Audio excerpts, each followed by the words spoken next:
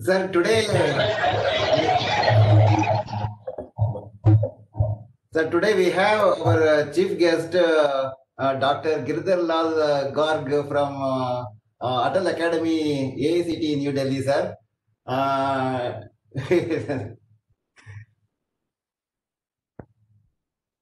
sir नमस्ते So, dear participant, we will start the third session of uh, this uh, third day. I hope you have enjoyed the fabulous speech from uh, Samir Datt uh, since morning, and it will be continued in this session. And uh, I want to introduce you, our uh, chief guest today's session uh, is Dr. Girdhar Lal Garg, Assistant Director, Atal Academy, who strived to improve our knowledge and he designed the framework for learning platform. So he is with us, and I requested him uh, uh, to show the gracious presence in this session. In spite of his busy schedule, he agreed. Uh, Just for one WhatsApp message, he agreed, and uh, he is uh, today we, she, he is with us.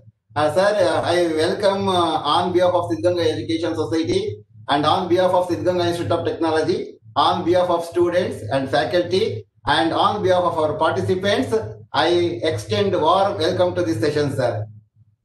Thank you, Rudramurthy sir. Thank you. I am very grateful to you. I am very grateful to you. Sir, I want to introduce Samir Datt. He is the founder and CEO of the Foundation Futuristic Company Private Limited. Uh, he is having extensive knowledge uh, metal forensics. And to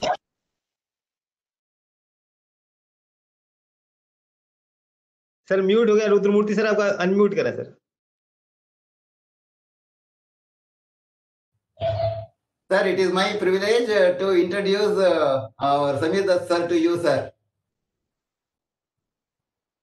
Sameer Dutt sir is the founder and foundation security company private limited and uh, he is with us uh, since morning sir.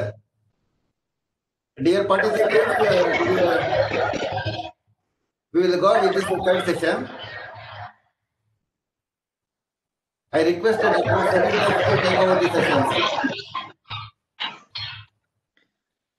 Uh, thank you and welcome, sir. Can I request everybody to mute their? I request all the participants to mute their microphone.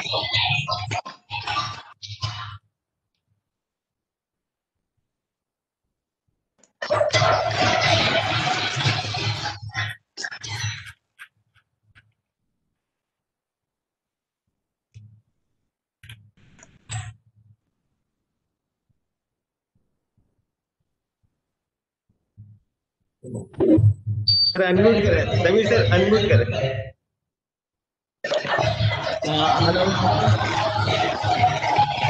क्या can नहीं आओ Sir, I can hear you there is some noise.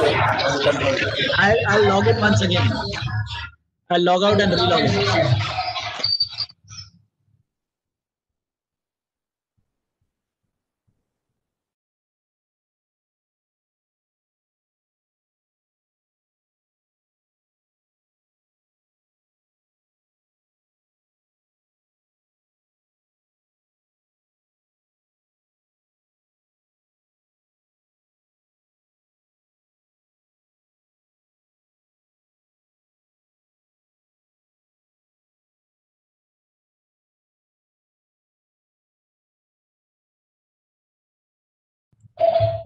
Rohit, is that a project?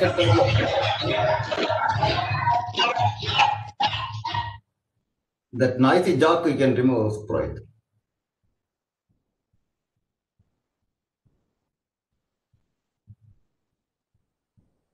Sir, am I audible? audible sir audible Rohit, reduce the volume. Okay, check. Can you hear me? Yes, sir. I'm getting an echo from somewhere. Need somebody to switch off the mic. Okay.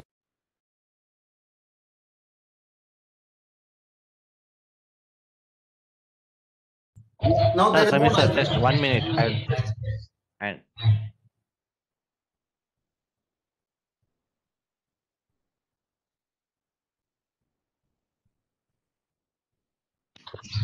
Sir, Samir sir, now you can start. Yes, sir. Now there is no noise, sir. You can start. Okay, fine. All right, uh, so I had promised that I would show you uh, imaging exercise. So what we are going to do now is we will do exactly that. Uh, I will show you how you know hash values stay static and do not change when we uh, do not change a file. But the moment a file is changed, the hash value changes. So just like a fingerprint for an individual is fixed, the same thing is that the hash value of any uh, suspect file will be fixed, will not change, and will only change once we change the contents of the file. All right. So is everybody with me? Yes, sir. Okay, good. Now uh, I'll just share my screen.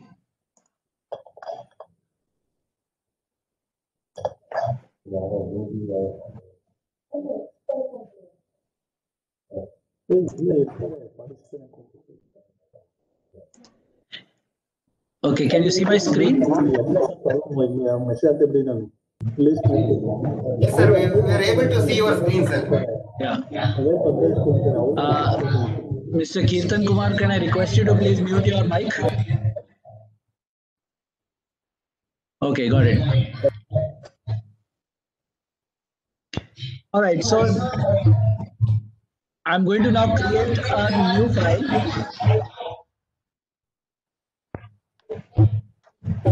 We'll start with a RTF document.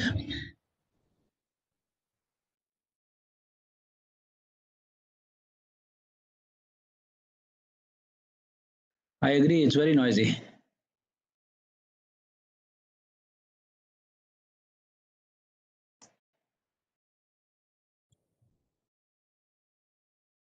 Now it's totally silent. Now it is clear, sir. Okay.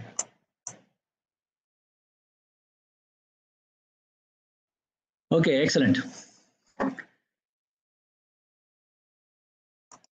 Good. So what I'm going to do is I will just go to the desktop and I will create a new folder. And this new folder I will call uh, mm, hash test. Right? Within this hash test folder, I will create a new file. Uh, let me create a rich text file and we will call it uh, hash one dot rtf. Okay. Now what I'm going to do is I will open this file and within this I'm going to type some text. Okay. Now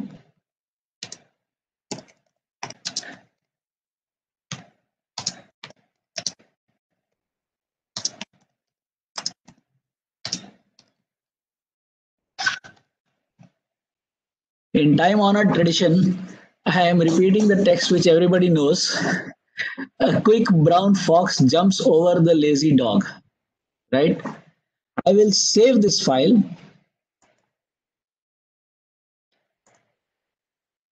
And here we see this file right here. Okay. Now let us create copies of the same file. So I'm going to do a right click and I will do a copy. I'm going to paste two versions of it. One is called hash one copy.rtf and the other is called hash one copy2.rtf, right?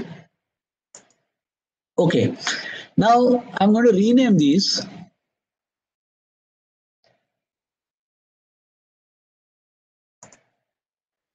I will call this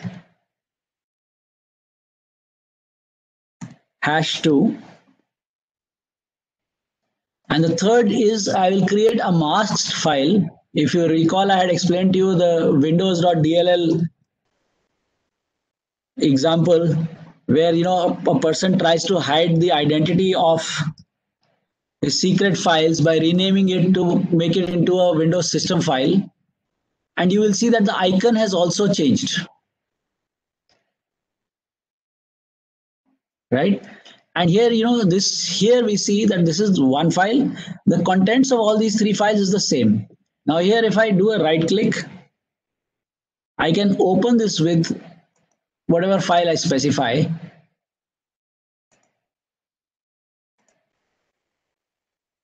So I can open this with WordPad, for example, and it shows me the same file. Okay, same content. Now in hash 2, what I'm going to do is I'm going to change the quick brown fox jumps over a lazy dog and I'm going to add a small full stop here. Or instead of a full stop, I can add a little bit of color here if I want. Okay. I will save the file. And now we have three different files here. Okay. Hash one and the last file are the same. The, the last file which has been renamed to windows.dll and the second file hash 2 has got only a color added to it okay are you with me so now i'm going to now start my forensic tool this is the ftk imager i will now open the contents of a folder if you recall we had created a folder called hash test. I will select that folder and I will click OK. I will click finish. Here if you see within this folder, if I click on this are these three files that we had created. I am now going to, you know, export the file hash list a list uh, hashes of all these three files. I will click on this. And in the same folder itself,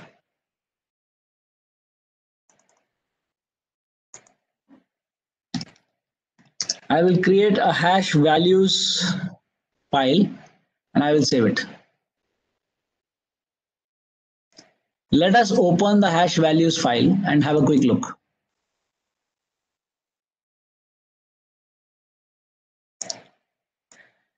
Now there are different algorithms for this.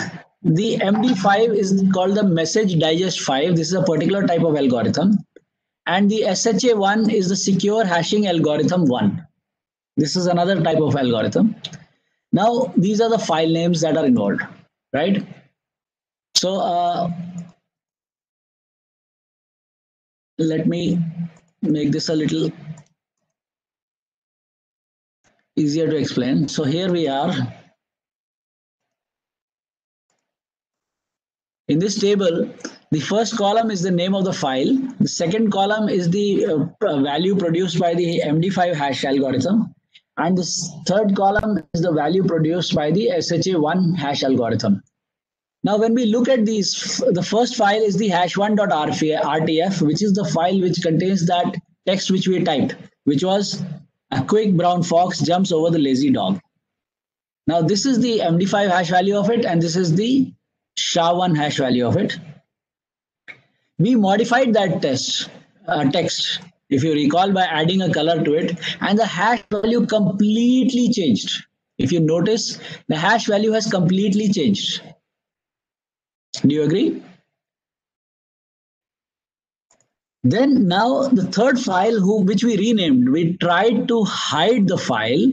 We tried to rename the file now this file is actually masquerading as a DLL file, as a Windows system file, while actually it is not. It is uh, at heart and within the content, it is still a hash1.rtf. So if we look at that and if we match the two, you will uh, be happy to note that both of them have the same exact hash value. You know, starting with 1D5 and ending with 775C. So the MD5 hash is the same and let us now confirm with the SHA1 hash. And there you have it.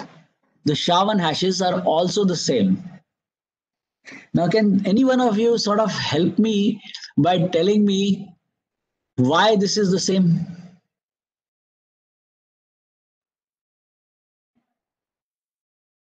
It's looking by the contents. Exactly. So what it does is that it works in the uh, manner of calculating the hash based on the content of the file. It will look at it bit by bit and it will read it from one side to the other and it will you know put that all into the hash value formula and the algorithm will then produce this hash value which we see.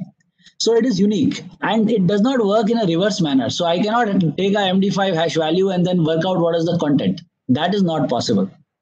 However, I can compare two files. So two files, if there is any difference, the hash value will change. So suppose you know I'm I've got uh, you know a, a file on my computer. Now I'm working on it. I save it. I you know and then my computer sees that uh, hash value of the file is calculated. Now, if the same file is accessed by somebody else later in a non-write block manner, it is going to change. When the file changes, you know, uh, what happens is that the uh, hash value will also change and it will no longer be admissible in a court of law because the uh, hash value is no longer the same. So it is basically showing signs of being tampered with. Does it make sense?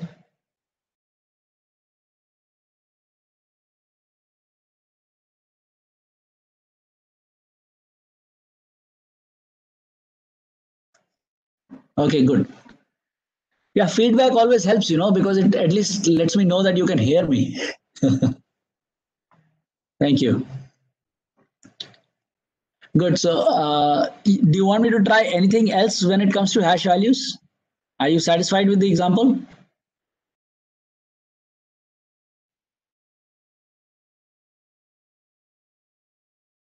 Yes, sir. Okay. Okay. So I'm just closing this.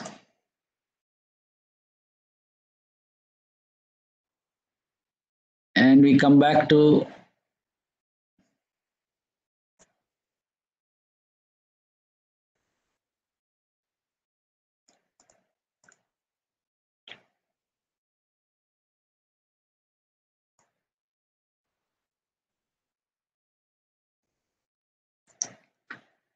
so now let us you know look at it this way that as you're all representing your institutes and you're all looking at uh, you know courses for higher learning for all your students. You need to understand what is it that they will need to have to develop all the points that we had discussed earlier. We are looking at it from the perspective of that they are going to need to develop the skill set. Sorry i did not get that question. Could you repeat it? Or can you can ask it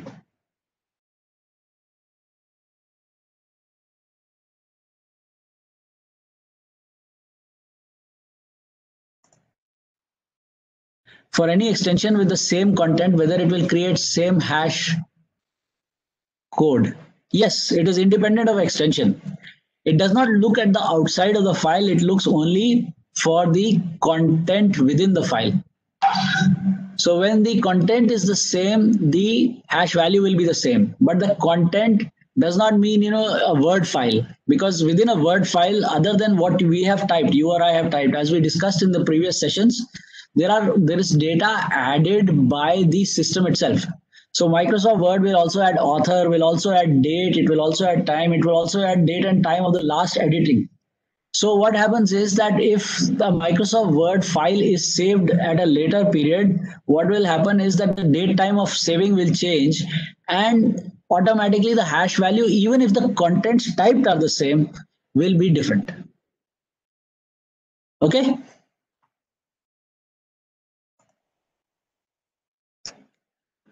Right. Uh, so coming back, uh, when you know, as as as an organization, what happens is that uh, we are looking to train our uh, students to a required level of skill. Now, what happens is that you know, uh, of course, government provides grants and government provides budgets, but what it makes sense is to utilize the budget for the best possible outcome rather than spending money on buying uh, you know a lot of equipment which might be useful from a you know police investigation or other investigation perspective but uh, it is not useful from a training perspective. It does not add extensive value. Because training classes are usually you know limited time period and the course and the investigation or the uh, the things that you're going to do are going to happen within that line time you know fixed time uh, period. So like suppose i say that i have a one hour class.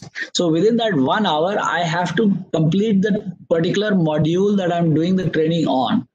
So you're not looking for very uh, high end equipment from that perspective.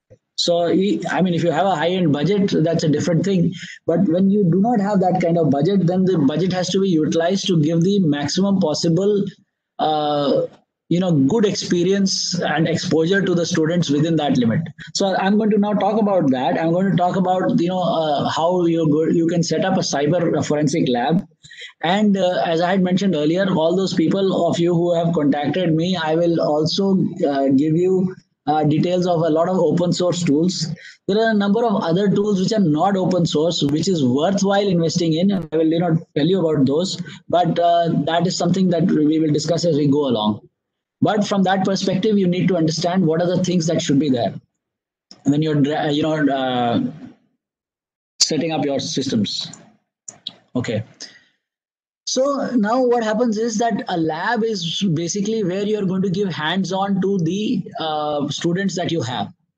Now normally you know most people will recommend that you should go in for forensic workstations and a forensic workstation is a wonderful thing you know you you have these heavy duty workstations with you know an array of hard drives and you know raids and write blockers and all sorts of equipment. And uh, you know they're used for the purposes of investigating cases. But you're not going to be actually investigating live cases day in and day out.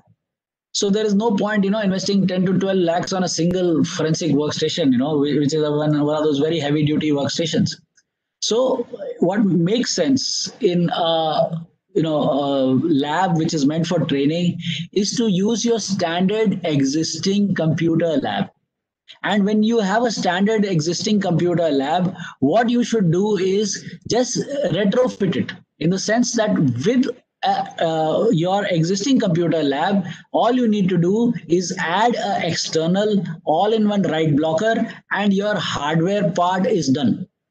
That means that you will not need to purchase individual workstations and you can use the hardware that you have existing and just add on a single external write blocker which plugs in through a USB. So there is no need to, you know, open up systems and connect them and things like that.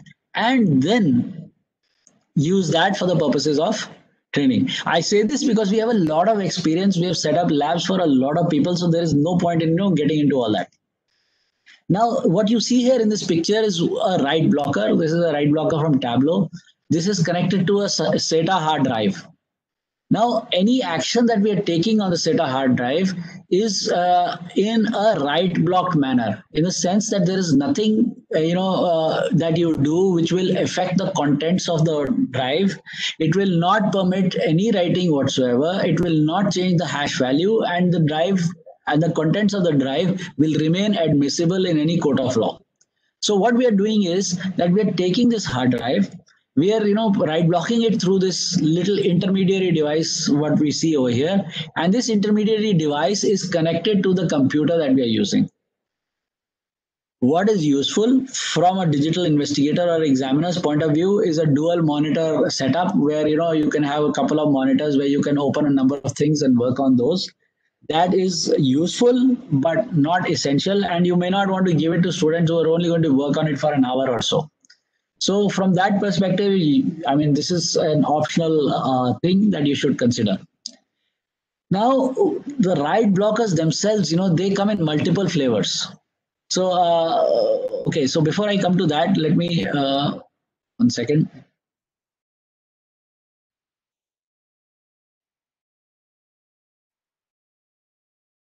Okay, so with your own uh, cyber lab setup, you can actually use the same cyber lab, same computers for purposes of computer forensics, mobile forensics, network forensics, cloud forensics, and whatever. There is no issue. I mean, do not be misled into you know buying different computers for different things.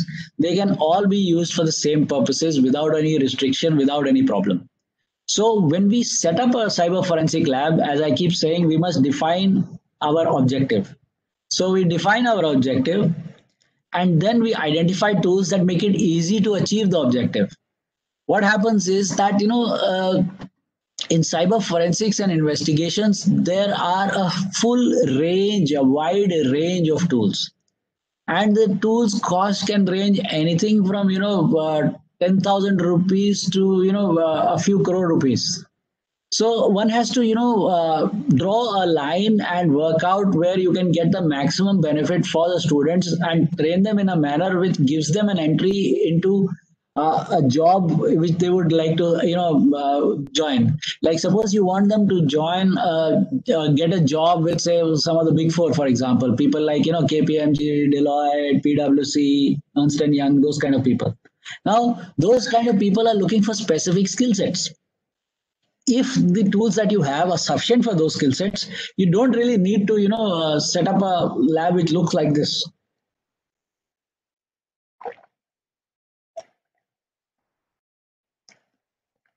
The second way to make your budget stretch further is ask for educational licenses. Now what what do we mean by educational licenses? Educational licenses are special priced licenses that are provided to educational institutions and you know that which say there very clearly that they can only be used for training purposes and are not used for any commercial activity. So when we are looking for those kind of things uh, the educational licenses uh, will uh, help you know stretch your budget. And the pricing is sort, of similar to uh, you know uh, suppose you want to buy one or two licenses of the product you can actually get 20 licenses of the same product in the same cost so, you know, 10 15% of uh, the uh, cost of uh, the full license, which is actually very useful and amazing because what happens is that uh, this stretches your budget and every one of your uh, students can be uh, given an opportunity to work on in a hands on manner. Plus, the licensing is controlled in a central manner so the teacher can actually have the dongle on their own system and control the usage of things. So always ask for educational licenses where available. Now, what happens is that uh, you know, as a institution where we are, you know, try, doing a training program for the students, uh, it takes a lot of time to build a curriculum. So curriculum has a theoretical part and a practical part. Now, a lot of theoretical and practical stuff is made, but creating in the forensic industry, creating images with the required problems and things that you need to, you know, uh, give to people to work on to actually solve cases takes a lot of time, effort, and domain knowledge. So the best option is that you look for training material to go with it in the sense that you ask for demo images say you know which has like this misnamed files and all that the example that i just you know demonstrated to you and things so that when the students work on it they uh, are able to get the full experience and they're able to you know absorb these things because the, they have worked on them. And when they have worked on these hands on it makes them very employable because when they're going to go and go into industry and when they talk about these things the uh, people in the industry are going to be you know impressed. They're going to say yes you know these guys know what they're talking about. And what will happen is that they will get recruited faster. So that is important and of course the last step is to you know set it up and get started. So uh, that is the way. It is also good that whoever is the trainer there should be a train the trainer or you know uh, train and certify the trainer program for the trainers. Dedicated you know if somebody is going to be teaching say you know digital forensics or investigations that those people need to undergo a proper program so uh, once they go, uh, you know, through a proper structured program, which is about you know seven eight days, you will find that their knowledge level and their confidence level and their real world ability to handle most cases really goes up. And because it's all hands on, they will be able to you know guide the students in a very uh, good manner and the students will really benefit from having a teacher who has undergone a proper you know uh, full-fledged training so basic uh, objects you know required for setting up a lab are you know all sorts of things. They can be uh, hardware devices software applications uh, evidence collection accessories evidence preservation devices digital data investigation kits hardware tools data transmission cable connectors and things like that. So we'll just discuss all of those. Now first is of course you know you have uh, i'm just giving you a you know exploded view of what a workstation is usually like and also you know terminologies are very important. Yes this is for you know uh, data for lab experiments. That is correct.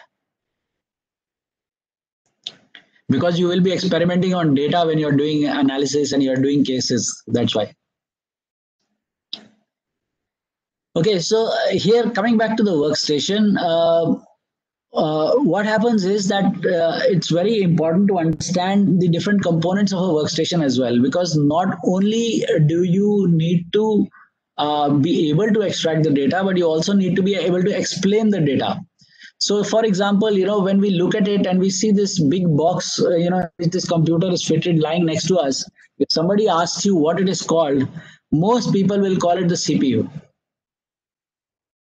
practically it is incorrect. And when we go to court and you know somebody mentions oh you know i picked up the cpu and i uh, you know picked it up and i brought it and this and that. So uh, the moment somebody says that it is a great opportunity for the defense to discredit the expert witness or the forensic examiner by pointing out sir the cpu is actually the central processing unit which is a small chip which is fitted on the motherboard which is actually fitted inside this box which is called the cabinet so when you are not even aware of what the thing is called you know how can you testify in court about this? You are not competent. And this is you know what practically happens in the ground because their objective is not to discredit the evidence. Their objective is to discredit the examiner. Because when the examiner is discredited all the evidence you know is automatically discredited.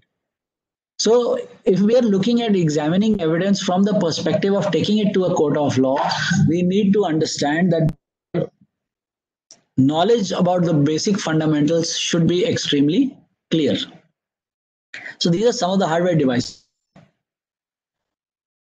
You have things like you know data transmission cables. You'll have additional storage devices like hard drives. You know there'll be FireWire, there'll be USB. There is the new USB-C that you see these days. There in the terabytes, you'll have network attached storage, again in the terabytes range and things like that. DVDs, CDs, things like that.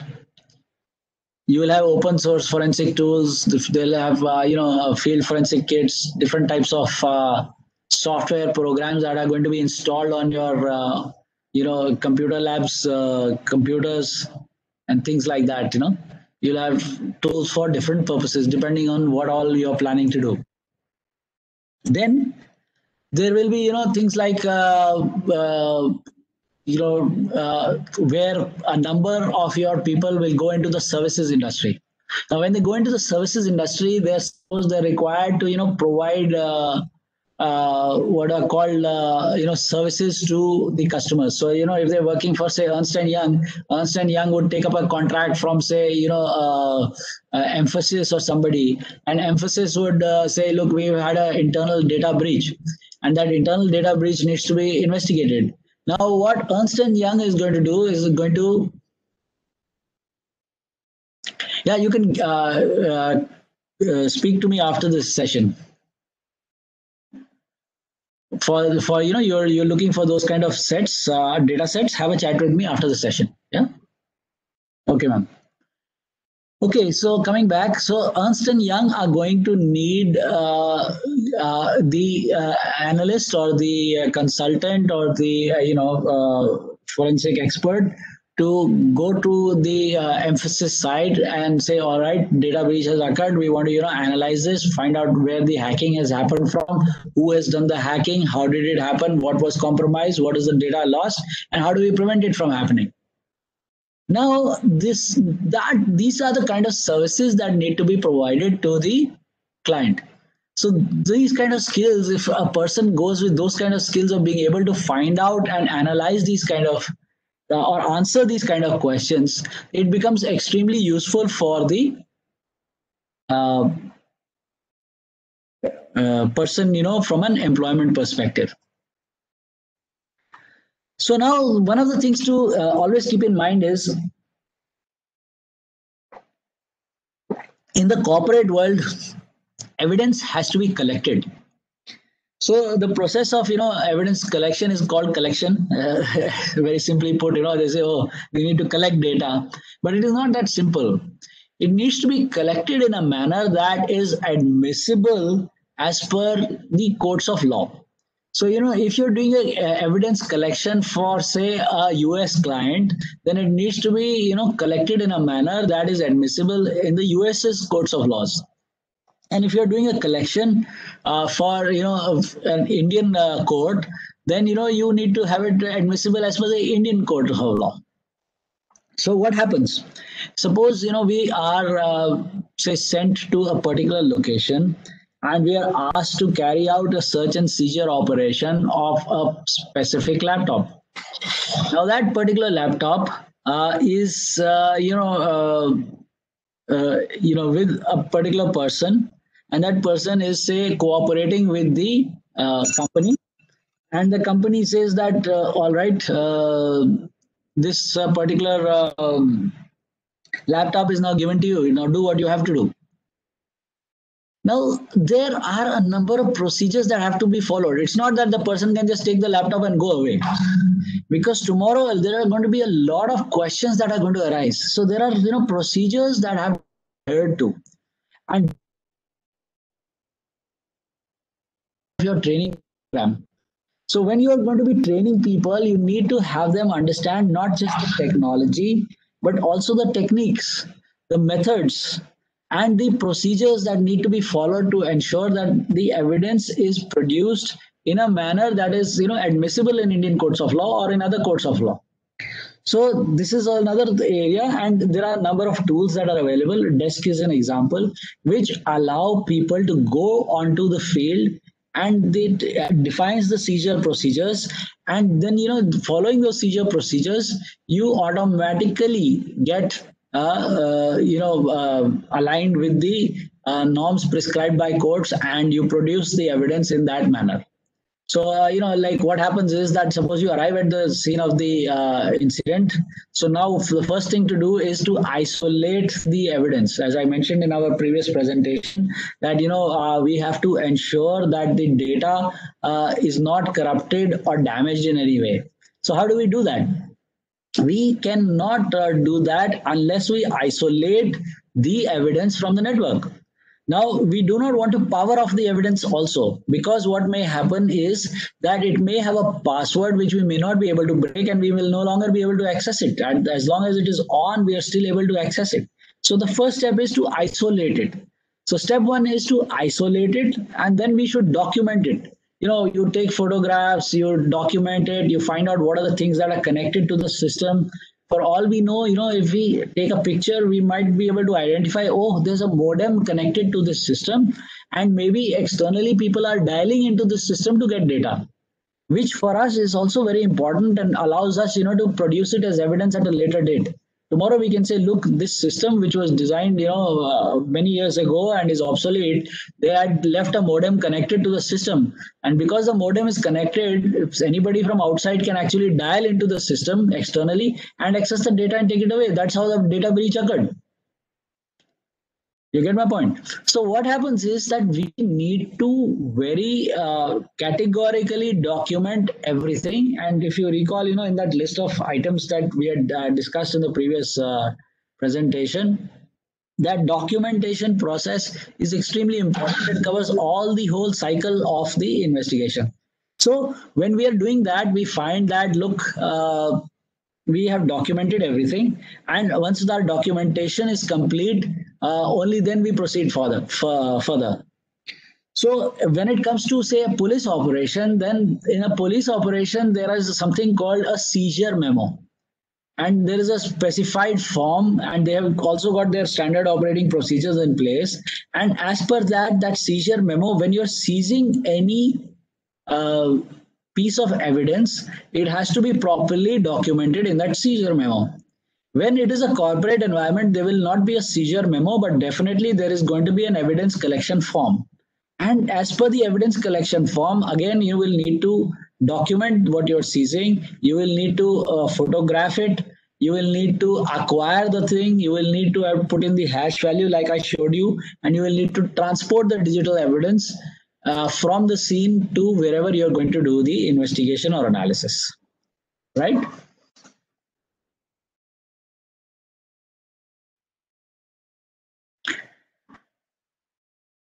so uh, just a second Okay, so now this is the write blocking tool that I was uh, talking about. This is a tool that is uh, extremely, uh, you know, uh, useful and versatile from your uh, investigation and your training purposes. This is an external box.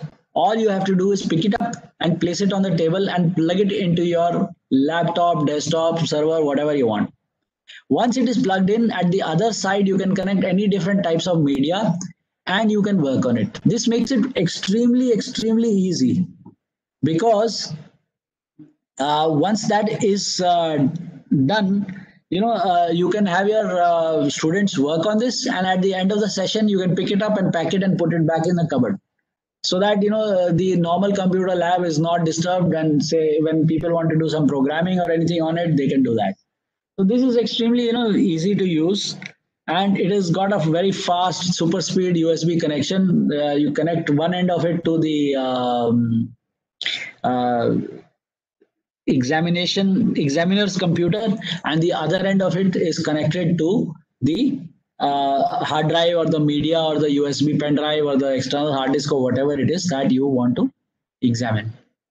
This, uh, these are there are different versions of this. There is one that supports you know six different interfaces and uh, from a limited budget perspective you can actually have one which supports only three different interfaces one of which is usb the other is sata the third is pcie which are the three most common interfaces used in the world today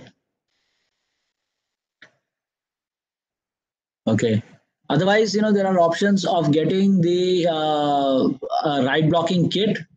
And a write blocking kit is uh, has got a full set of every write blocker that there is uh, but from your perspective, I don't think there is any need because you're never going to get FireWire, you're not going to get SAS in the lab and things like that. So it's actually a, a, matter of overkill. You're spending so much money extra. For the cost of a write blocking kit, you know, you can get 10 write blockers and, you know, you can uh, offer it to all the students in the class to work on, which gives them good hands-on experience and gives them a lot of confidence and will allow them, you know, to uh, ace their uh, job interviews when they are applying for jobs.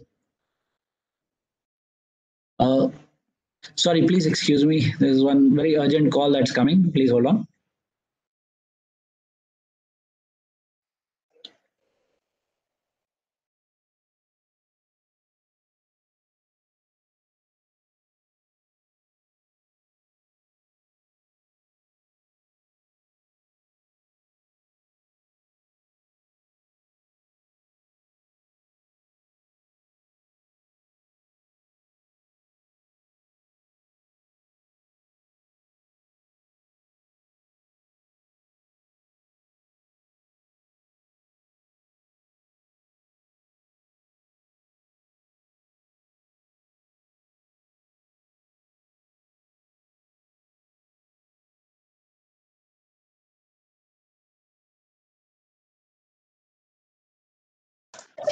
Okay, sorry, I'm back. Now, you know, if you recall, we were talking about disk imaging. Now, it is possible and actually fairly easy to create a disk image using a write blocker. So at one end, we connect our actual suspect hard drive.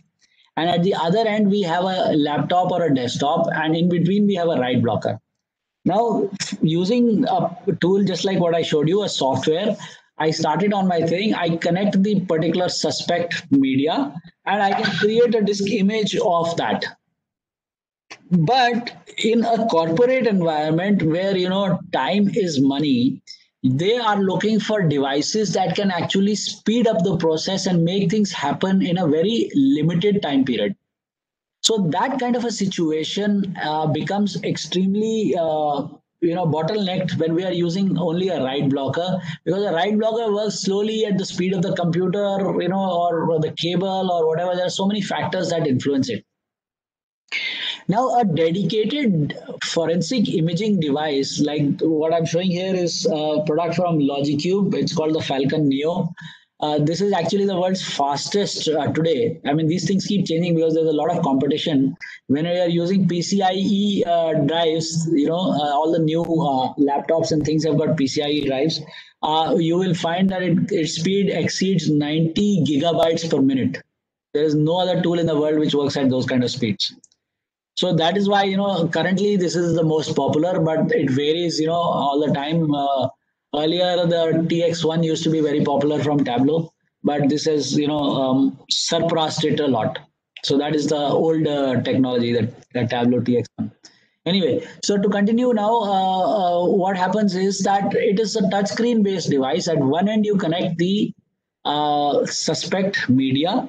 At the other end you connect a blank media. And you touch the button and say duplicate it will write block the suspect media so that there is no writing on it.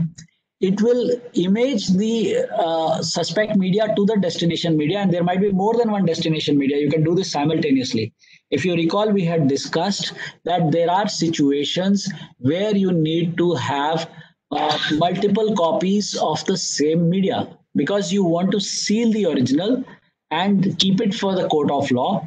And then the additional copies are one is a working copy another is a copy maybe you want to return to the suspect so that he can continue his work. Or you need a third copy as well which you want to keep as your own backup just in case you know something goes wrong. So the whole uh, process you know has to be thought out. And when you do that this allows you to do it. That process is built into this so we say, I want one source and three destinations, and you connect three destinations to this. You press a button, and it will do the rest.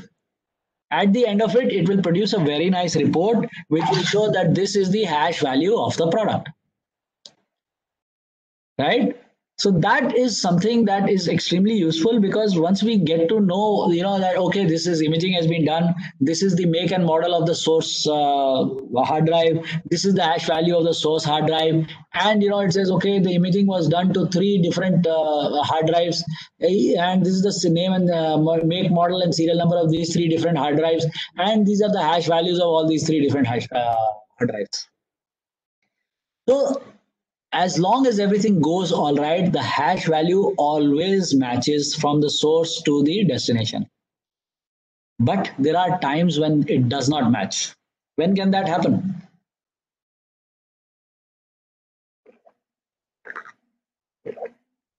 Any ideas?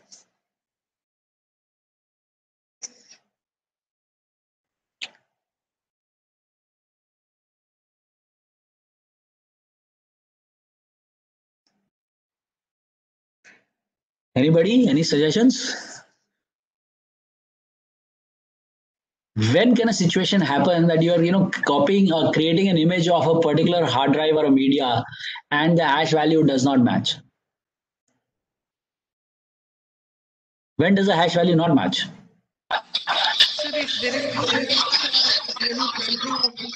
Sir, when it is, when it is or modified, if it is corrupted or if the physical damage of the hard disk or whichever source we are checking out of.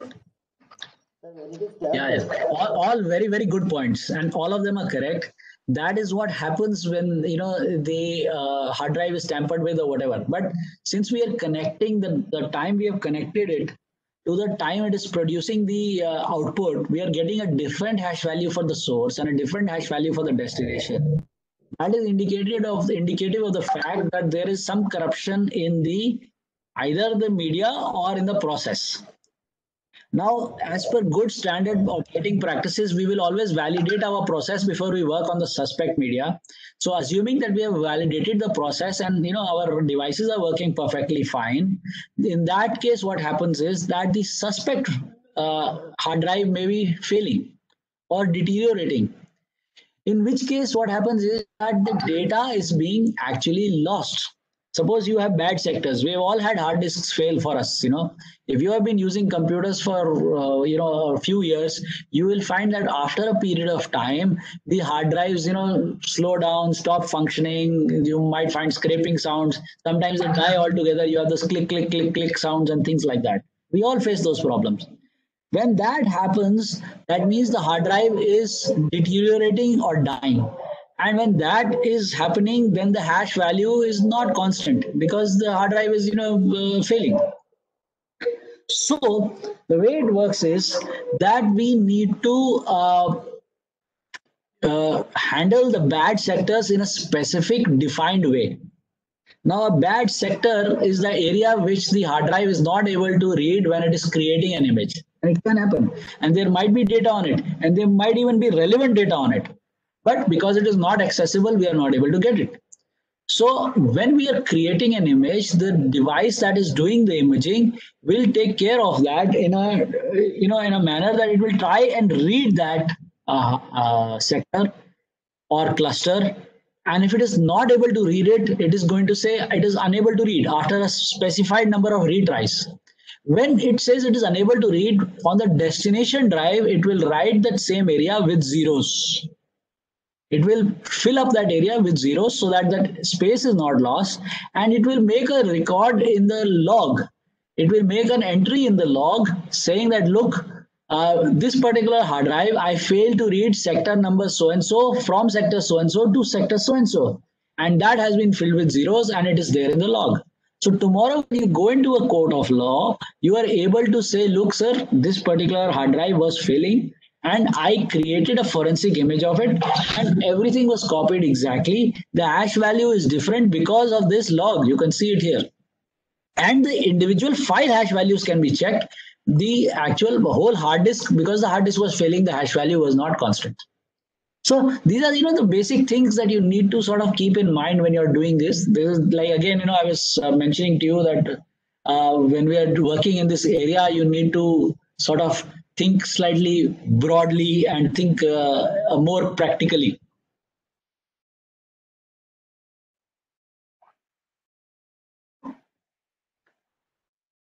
Some of the advanced features, you know, optional and advanced features that I've seen on this and I've not yet seen on anything else is that this allows you to carry out or do cloud forensic acquisitions and mobile phone acquisitions also in the same hardware. Interestingly, that means that you can connect a mobile phone and also create an image of that. Or you can connect it to the internet. And when you once you connect it to the internet, you can go to Dropbox or Google Drive and create an image of the contents of that and bring it down onto a hard drive for an investigation, which is a very cool feature, very interesting feature. And these are problems that we are facing facing because today, you know, a lot of data is on the cloud you must have seen even the presentation that I'm running is actually off the cloud. I'm not running it, uh, you know, uh, uh from my hard drive anymore. So uh, this is the other tool, the Tableau TX1. Uh, this is now superseded by the Falcon Neo. Uh, this is also a good tool, but not as good, you know, and the pricing is practically the same and similar. So that is it. Next is the software that you should have. This is uh, one of the bare minimum investments you should do. You should get yourself an EnCase forensic tool.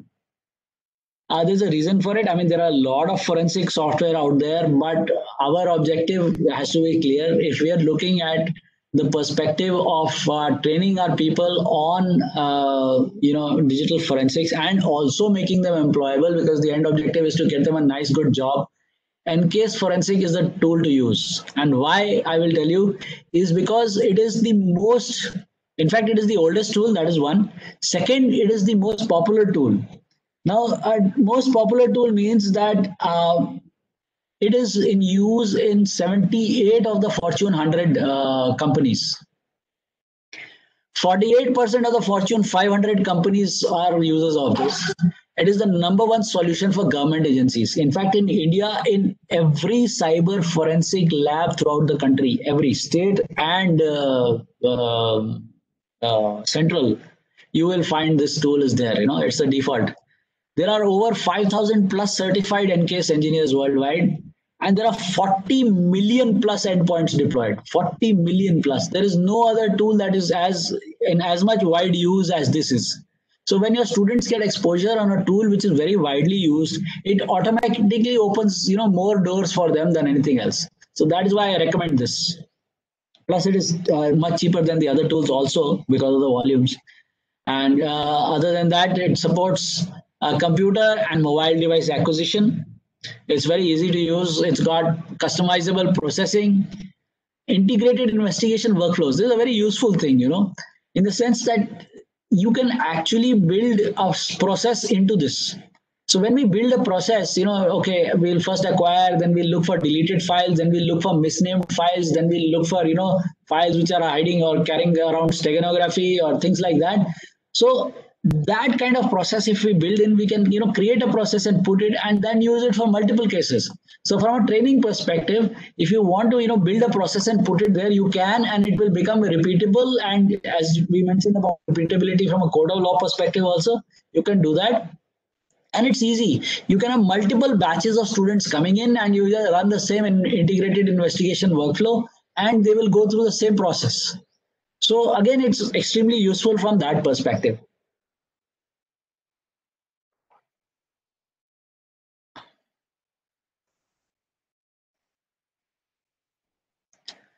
other than that it has uh, a number of other uh, you know uh, products that it meshes with. So that allows us to connect to enterprise level things. So I mean, suppose I'm working with Deloitte. Deloitte is using say endpoint security. If I know EnCase, I can simply plug in into endpoint security or EnCase eDiscovery or endpoint investigator or risk manager, any of the tools, they all have the same uh, interface. They all have the same thing. So that is why you know, with 40 million endpoints, it makes it extremely easy to get uh, placement in any of those organizations because there are so many of them who are using this. Okay, uh, discuss that. Then, you know, there are certain uh, triage tools. Now, what is triage?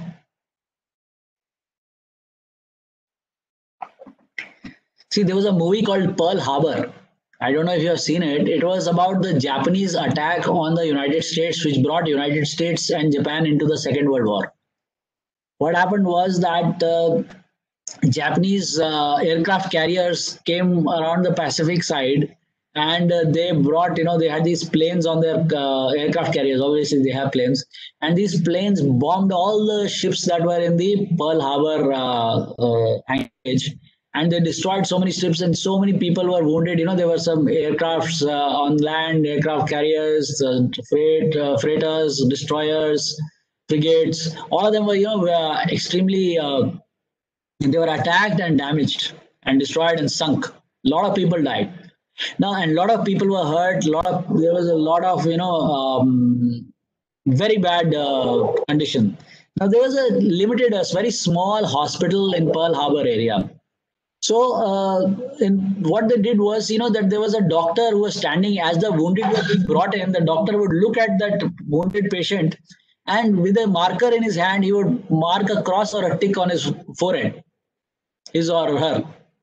Now, the whole thing was that this marker was to identify that is it worth struggling to try and save this person or not? Does he have a chance? So automatically, the people who got a cross were put to the side, and you know to see that uh, if they survive later, they would get back to them because in an emergency where there are so many people dying all at the same time, you have to pick and choose. So that is the concept of triage. I'll give you a digital triage example. You know, uh, when uh, Dr. APJ Abdul Kalam was the president of India, uh, you know, he was a very popular, very well-loved president.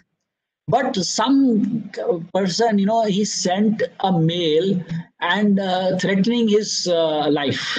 He said that on so and so day there is going to be an attack on the president, and uh, you know whatever, you know so this was, you know, uh, extremely uh, annoying. And the mail was not sent to the president. The mail was actually sent to the US embassy in Chennai. Now the you know the security head of the US embassy examined the email and they thought that it was a credible threat. And when they thought it was a credible threat, they said, "Look, we must take immediate action on it." And then they you know contacted the uh, uh, police force in Delhi and they said, "Look, uh, we have received this, and it's your job to protect the president. And uh, I mean, we feel it is a credible threat. Now it's your call." So when they looked at it, they immediately felt that yes, it can be, and we cannot we cannot you know take a risk. One never wants to take a risk like this. So what they did was they flew a team down from uh, uh, Delhi to Chennai, and the uh, the team's requirement was to you know uh, trace the email. Now the email had been traced in the meantime because the technical task; it did not require physical presence. The email was traced to a cyber cafe and in those days, you know, Satyam was in the business of uh, providing cyber cafes, and that cyber cafe had 40 computers. So this team was sent from there, and uh,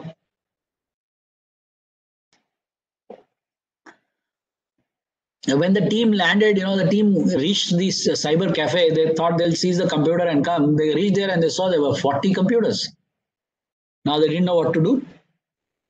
So they called up their boss and then you know i mean we we assist a lot of law enforcement agencies around the country so we got a call from uh, the joint commissioner and the joint commissioner called me and he says sameerji i need your help so you know i joked you know i said sir you only call me when you need help but yeah so basically he says okay so we have this problem where uh, you know uh, our team has reached there and there are 40 computers so how do we identify which is the computer we should seize and I said, you know, that you need to carry out the process of triage, where you look at all those computers quickly and then identify the one which has the relevant keywords and bring it in.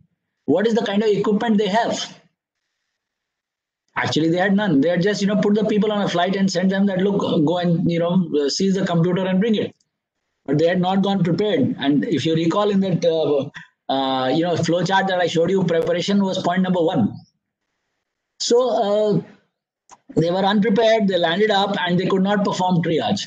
So just a small tool like this, which you can carry in your pocket, all you got to do is, you know, have the keyword in it. You put it into the system, it will examine the system. And if that keyword matches, like the content of the email matches, you seize that system, leave the rest. Right? Ultimately, what they had to do was that, you know, like Lord Hanumana, they had to carry the whole mountain and bring it back. They had to bring the 40 systems back and it took you know a couple of weeks to analyze each of the 40s to identify what was relevant and what was not. So uh, triage is uh, one area which is you know useful from that perspective. Then you know there are the concept of video forensic tools.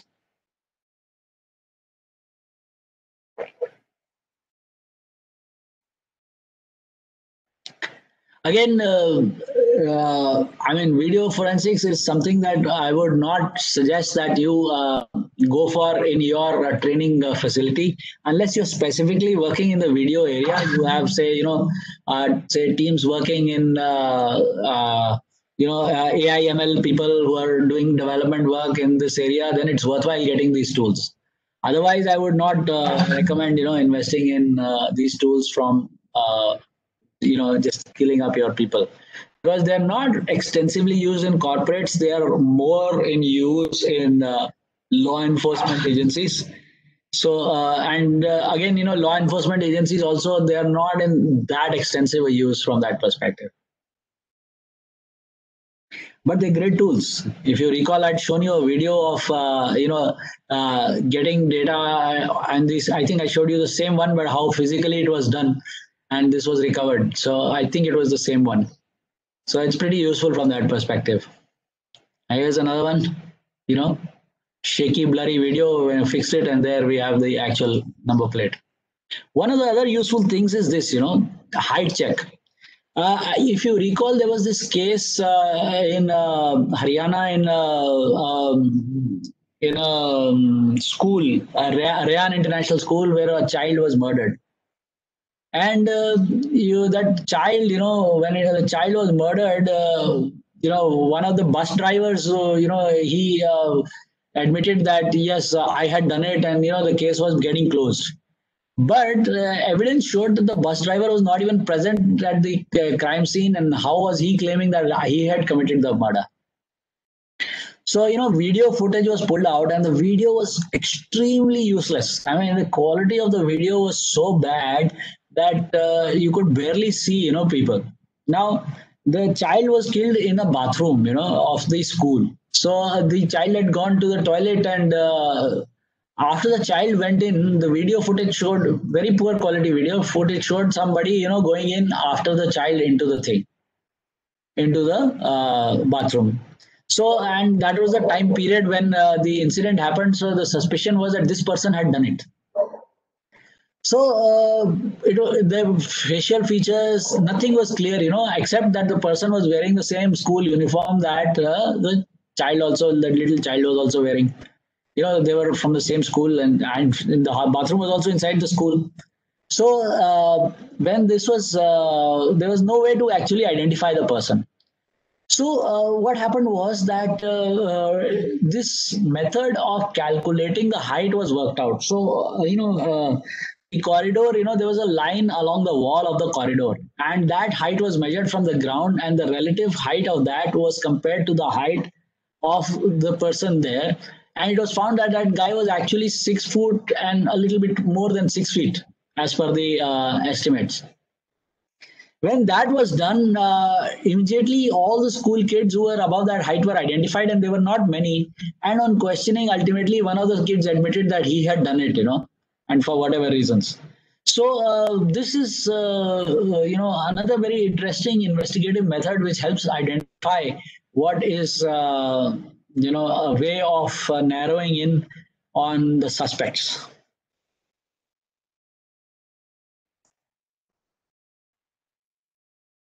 Okay, so the next is, you know, image authentication. Now, what is image authentication? You know, all the time we get, keep getting all these images. They say these are fake and this and that.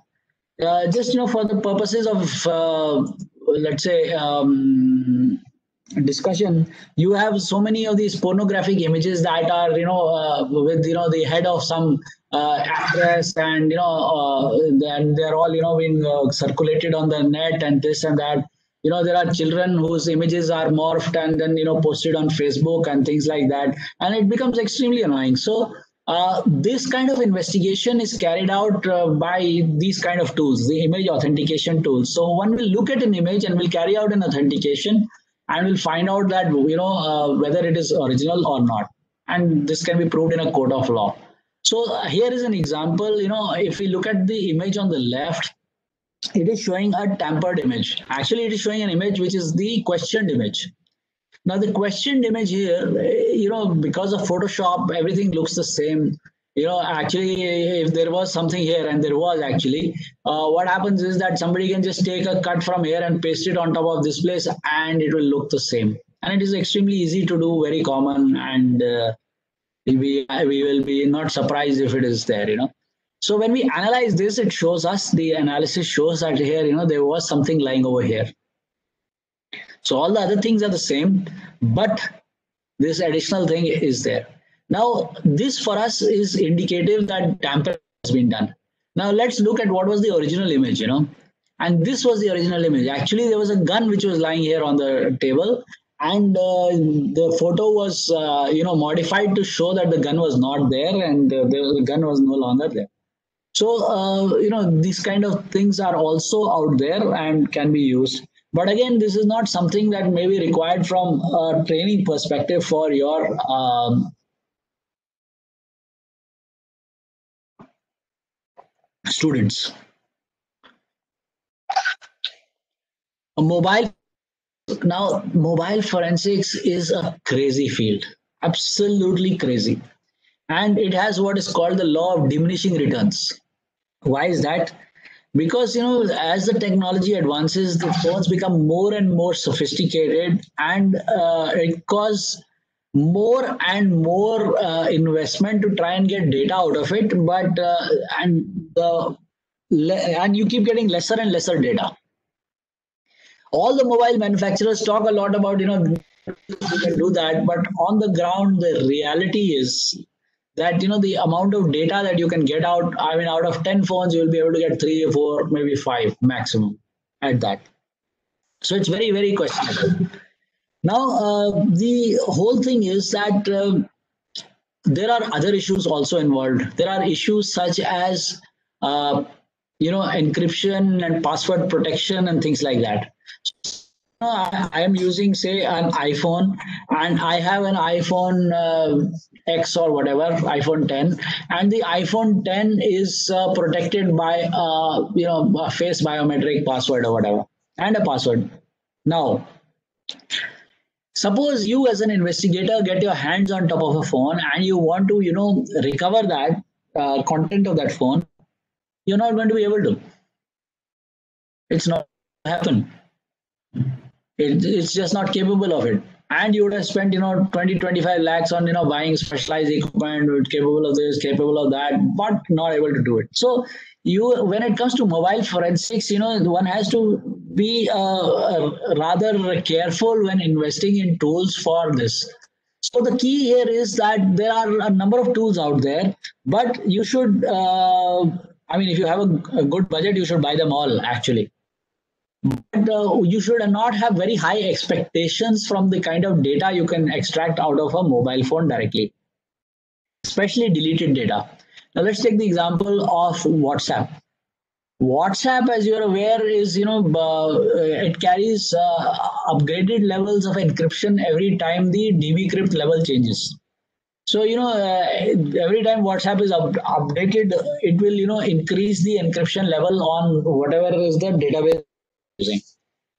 in such a situation, uh, it is very difficult for the manufacturers to keep up with this all these different changes and to reverse engineer and that is what it requires reverse engineering. Uh, it's very difficult for them to reverse engineer the uh, database and figure out what is it that encrypts it. So there are a number of different methods there uh, you know which people utilize to recover the data and it is useful to know them.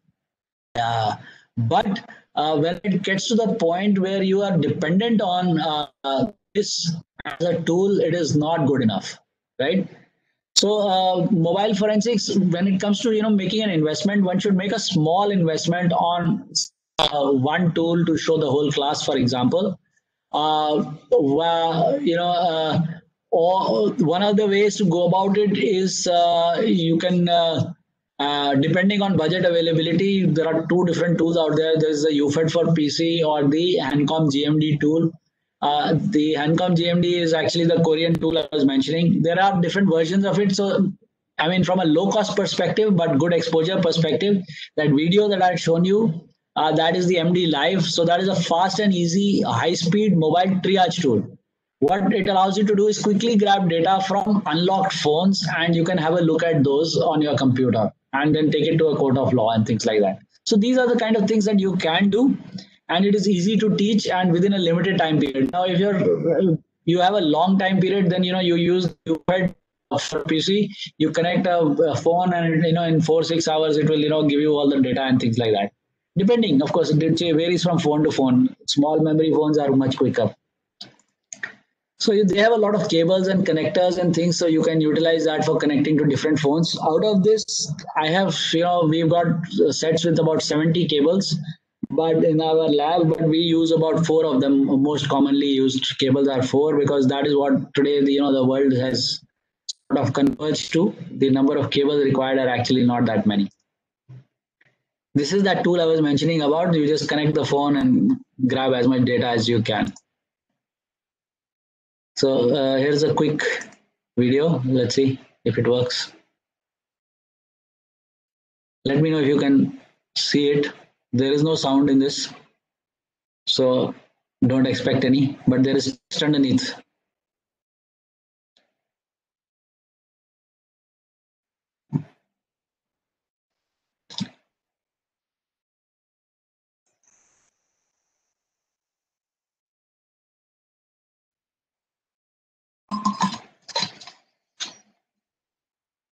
the good part about this tool is that it is fast So, you know, this is showing examples of the browsing that people have done. on the website. Uh, you know, uh, this is you know some uh, what they did on Google. There's some shopping that they did. There's some websites that they visited, and all sorts of things. You know, the call logs that they. So does this uh, also uh, contain uh, darknet web? uh, dark web? If the person has visited the darknet, yes. If he is not, then no.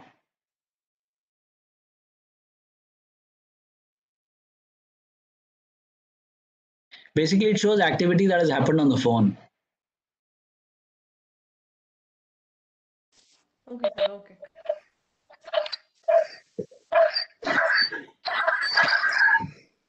So you can recover the videos that are there on the phone. You know, like people have you know hundreds of TikTok videos and things like that. They may even create uh, uh, you know videos which are uh, say unacceptable and things like that. So if you need to investigate that, you can. So all that is uh, doable by uh, this itself. So once you've used it, you extract it, put it on the screen, and you're good to go. It shows you missed calls, made calls, uh, incoming calls, outgoing calls. I mean, different types. So all those options are there.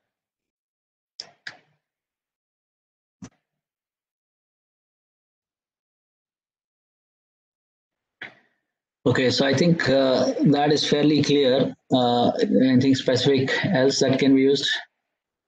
Yeah, so uh, you get a nice digital evidence analysis report. It shows you, you know, about the case. It automatically creates the report, which makes it very easy. It gives you, you know, the chat room uh, and the chat uh, details. You know uh, what people have been up to, all that. You can get WhatsApp. You can get a lot of stuff. You know, messages, the videos, the attachments, the uh, things like that. Different phone calls to people, the call logs the pictures taken, the hash value of the pictures, EXIF data if there is there on the thing.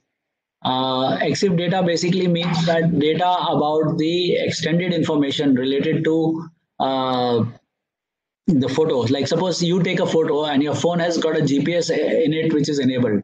So when you take the picture, the picture has got embedded in it the location of where you were. The latitude and longitude is embedded inside the picture. Now, when you send that picture using uh, email, that latitude and longitude travels with that picture. So, suppose you send me a picture of yours, yours by email, I know exactly where you were when you took that picture. So, you know, when you have these uh, children who are being, you know, uh, pursued by these predators, they get them to take, you know, selfies and then ask them to email them or whatever. So, those selfies will give them the exact location of where that child is. So, the child doesn't know the, or has not given the address or the location, but that has automatically gone to the uh, predator, you know, the uh, person who is, uh, uh, you know, hunting the child. So these kind of things are all built in, and that makes it uh, very, uh, uh, you know, uh, dangerous. So uh, when we look at uh, you know data like mobile data, one has to analyze all the aspects of it and try and see what is the, you know what all can be extracted. So when we are using, uh, when we are looking at, say, a photograph, for example, if we examine the EXIF data which is inside the photograph, we can identify the make and the model of the camera or the phone or whatever was which was used to extract that uh, or to make take that photo. We can get the uh, date and the time when the photo was taken, and we can also get the location where the photo was clicked. So all this is extremely valuable information because when we have this valuable information, it gives us a lot of insights onto not just the uh, photo, but also the photograph taker.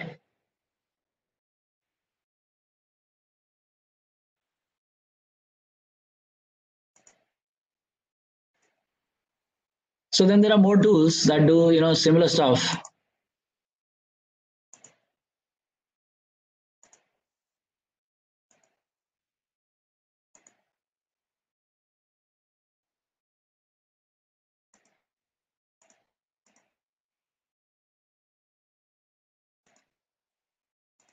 You can also do you know things like uh, relationship analysis and stuff, which is useful.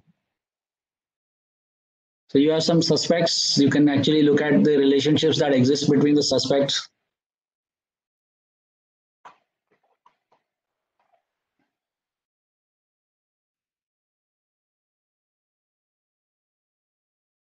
There we see Sherlock Holmes also. And here you know, it shows a nice link analysis chart. This person is talking to all these different people.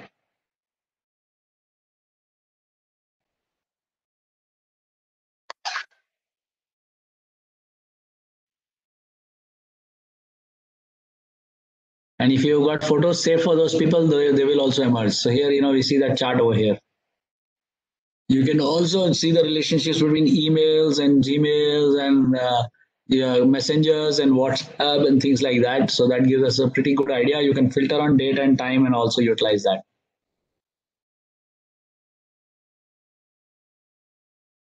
So there, you know, now it has been filtered on the basis of those chats and things like that and other communications. This is all you know analysis analytics something which is you know useful uh, which gives us insights into the uh, activities of a person. It gives us insights into the behavior of a person. It gives us insights into the associates of a person. Because you know uh, if a person suppose you know uh, i am talking to somebody say 10 times in a day that person is important.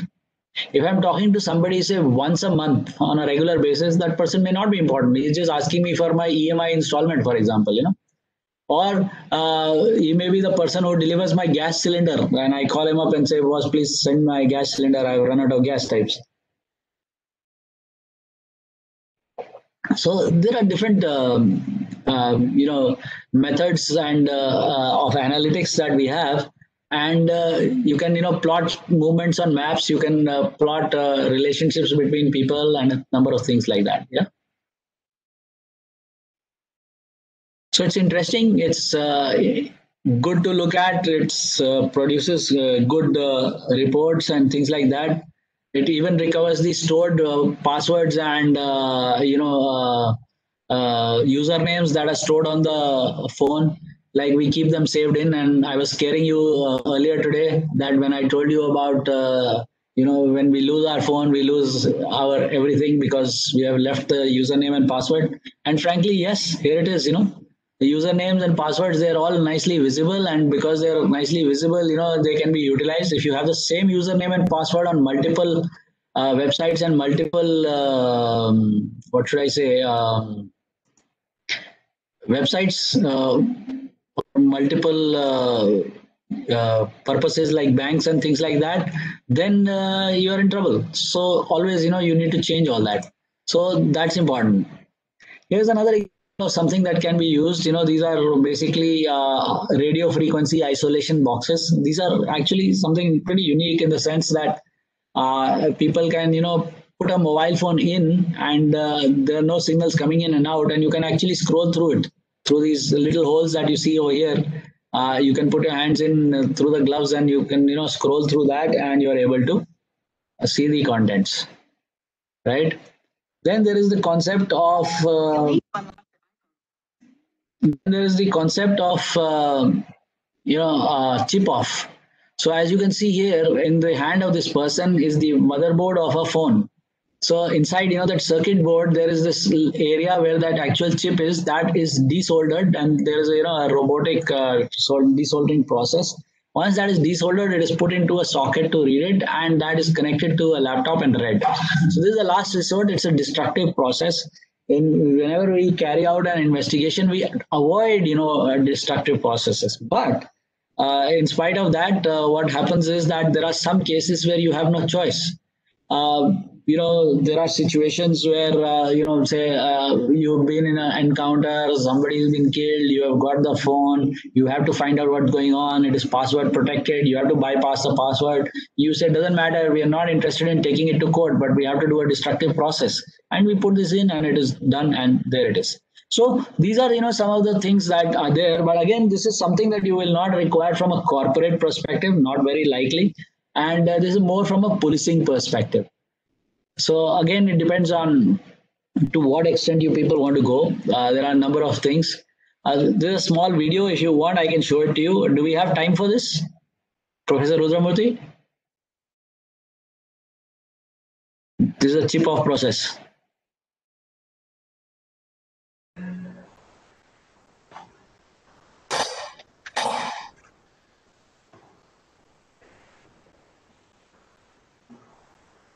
I can't hear you.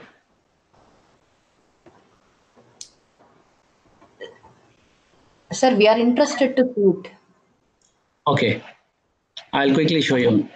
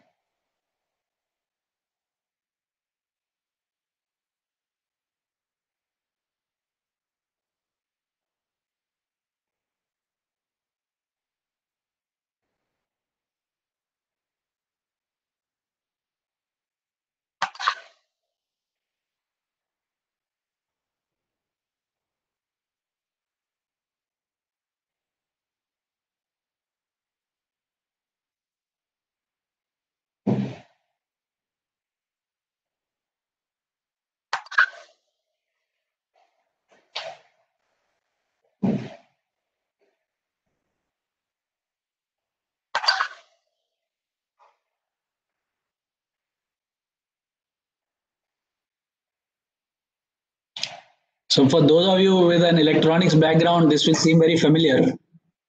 Uh, for the others, it is uh, slightly uh, different, but it's not difficult. It's very straightforward, actually.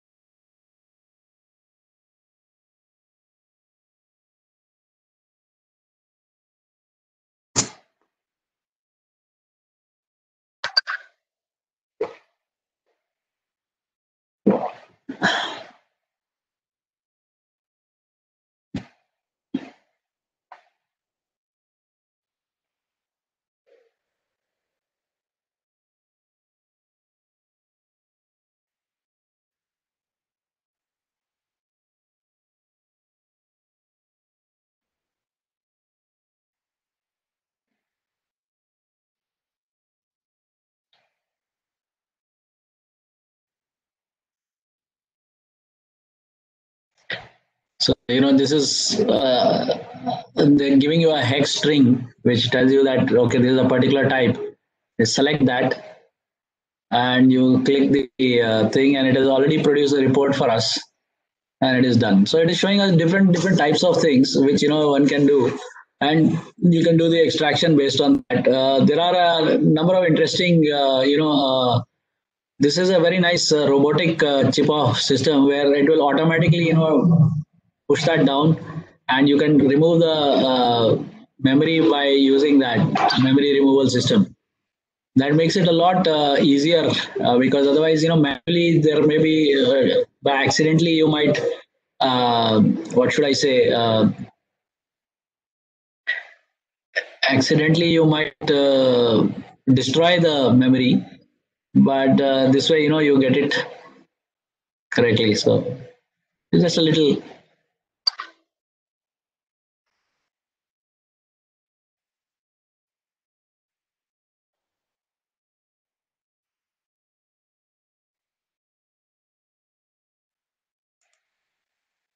So you actually, you know, um, uh, wash it with uh, uh, distilled water, and then you bake it in an oven so that it is all the water is out, and then it is read on the MD reader.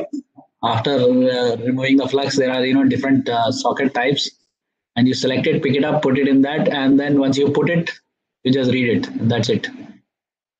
Problem solved. Yeah. This is a little in too much detail, but. And then there are cloud forensics. There is cloud forensic tools are there. There is social discovery is there. Uh, go to the next one. I think this is the last product. Uh, what it does is basically social media analysis.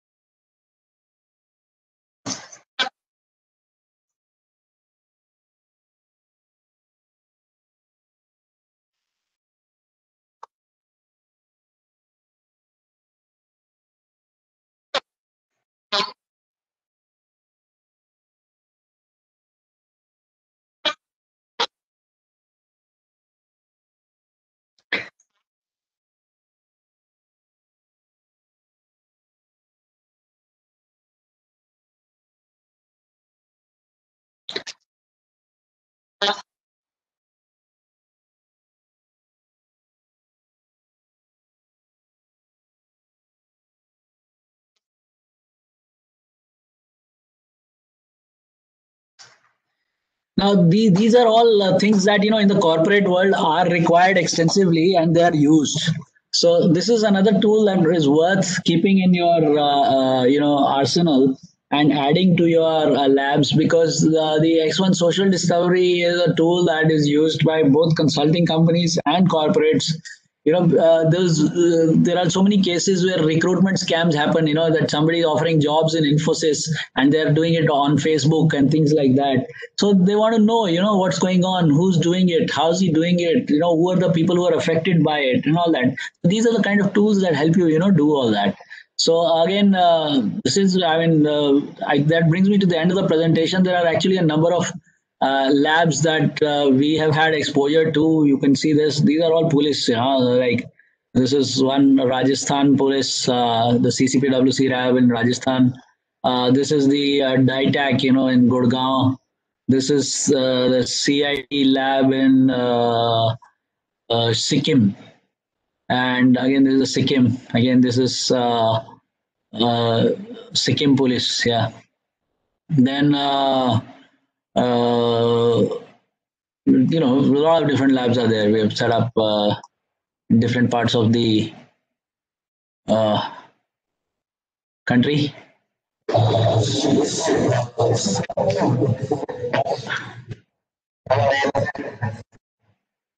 So uh, that's it broadly. Uh, I think that covers it. In case there's anything that you feel that you would like to be, you know, uh, uh, you need help uh, from me, I'm open to questions and uh, feel free, stay in touch. You can connect with me over uh, email, phone, LinkedIn. Happy to help in whatever way I can. If you have any questions, please go ahead. Dear participants,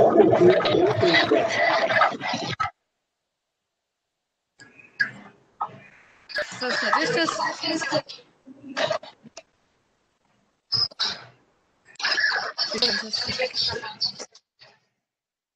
Sorry, once again, ma'am, I couldn't hear you. Uh, sir, uh, give us some tips on protecting digital evidences, sir, because sometimes we do the prop, uh, we follow the proper procedures in collection of evidence, but when we go to the uh, court, by the time uh, the time comes for the case or whatever, we fail in producing the proper evidences or we fail in protecting those uh, digital evidences. Can you please uh, give us some tips on protection of digital evidence? Hmm. Well, I think the protection and all these things have to start right from the uh, collection stage itself. Uh, you know, when you uh, arrive at the crime scene, it uh, makes a lot of sense depending on how many you have to seize. To seize, uh, uh, sometimes, you know, when we're doing a seizure, we will take only the hard drives and then we will not pack them well. So it is extremely important to you know carry out uh, either an imaging right there and itself, so that you are reducing your risk and you are multiplying your chances of getting it successfully to your lab. Or uh, if you are transporting it, then sometimes it is better to seize the whole system than to bring uh, just uh, the hard drive, because you know it's got that protection around it that said once you have it in your thing there are you know uh, fireproof um, safes that are available or cupboards that are available storages from godrej which are worthwhile you know investing in because you can then keep the digital uh, evidences stored nicely in that. You should have anti-static mats out there and proper grounding in your lab uh, grounding is one of the biggest problems we have seen which causes you know electronic death for uh, a lot of electronic devices. If the earthing is not good uh, you will find that a lot of the devices uh, tend to die. Uh, i mean uh, i have seen this problem. I was you know at a us secret service lab in orlando at some time back and they were just showing me around. So they you know pointed out that this was an issue they had because this lab was actually in a building and the building thing was not good. So they had uh, you know uh, a lot of issues until they you know figured this out and they solved that. So uh, there are a number of uh, multiple uh, things that you can do. Transportation should be in you know these hard abs cases. Within the transportation there should be uh, foam separation between hard drives. Hard drives should be packed in you know anti-static bags uh, and uh, you should always have multiple copies of your evidence. It is worthwhile having a network attached storage to store those evidences on it.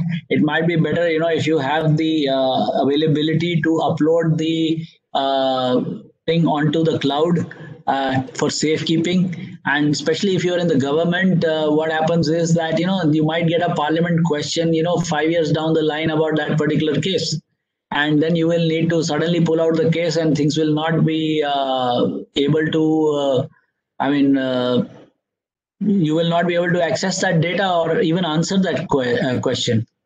So uh, these are you know a number of things that uh, have to be kept in mind. That is something you know you should be looking at. Um, okay thank you sir um, does uh, it has any limitation like we can do it only twice thrice or you know we don't get exact values after certain number of times we do forensics? Nothing like that. There are no limitations and every time you do it you should get the same hash value. If there is if it is changing that means you don't have a write blocker.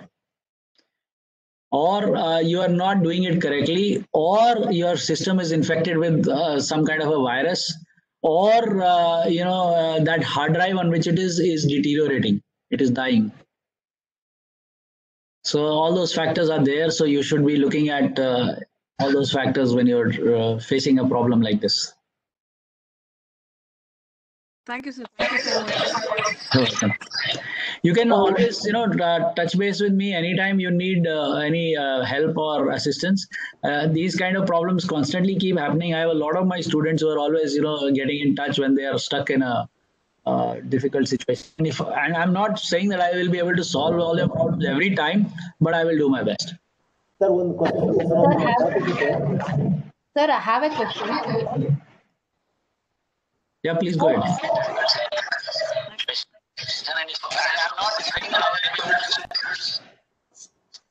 Uh, sir, Yes. actually in the application, you have showed us many lots of the important things that could be used.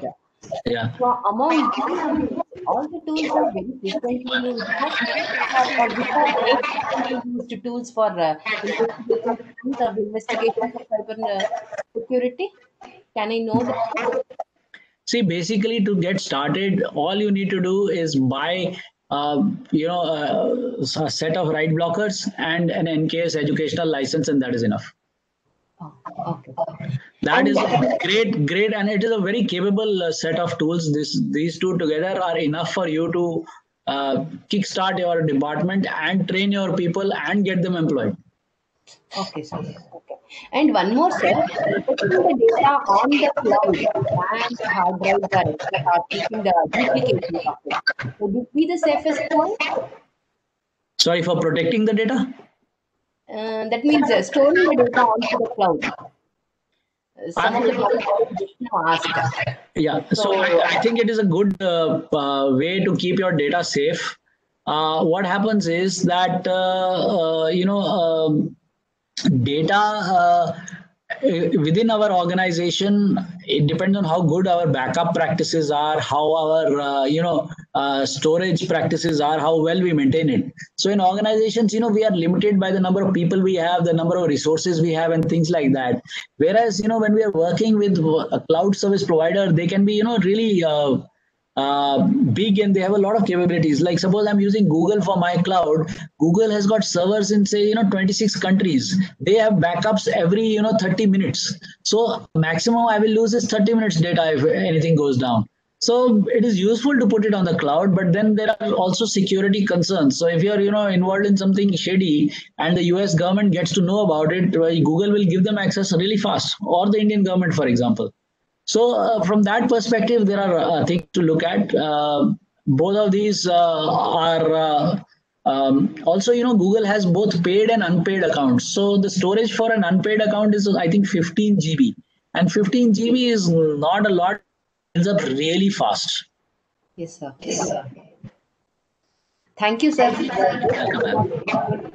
And nice to hear from you and thank you for knowledge in this area. No, no, thank you, ma'am. I thank the coordinator also for getting us to know about it. Uh, Sir, one more question from uh, Arvind Shankar. Sir, am I audible? Yeah, yeah, yeah. Please go ahead. Uh, A question from Arvind Shankar. I am using a Metro Agile. Hmm. It has inbuilt browser. I repeatedly uninstalled, but it automatically get installed. Is it cyber security, cyber security issue? How to tackle that?